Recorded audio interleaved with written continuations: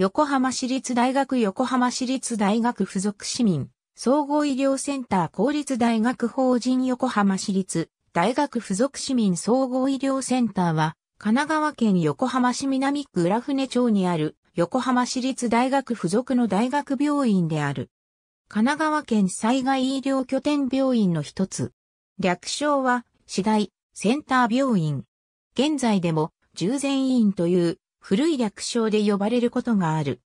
1871年に林雄的らによって横浜に設立された西洋式病院として長崎養生所に次いで日本で2番目に古い歴史と伝統を有する病院である。黎明期の従前院時代にアメリカオランダ外科派協会の宣教医師でワン、シモンズが病院に勤務し、ジェームス・カーティス・ヘボンと共に横浜の近代医学の基礎を築いた。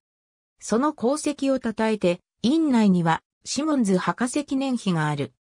1923年の関東大震災によって壊滅した横浜従前医院は、その3年後の1926年に東洋一とも歌われた最先端の設備をもって現在の裏、船町の場所に新築された。1944年の横浜市立医学専門学校の設立時の母体となり、現在も横浜市立大学附属の大学病院となっている。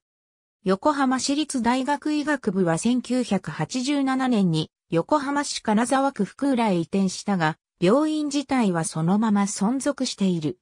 週刊ダイヤモンドの頼れる病院ランキングにおいて2012年、2013年に全国1位に選出された。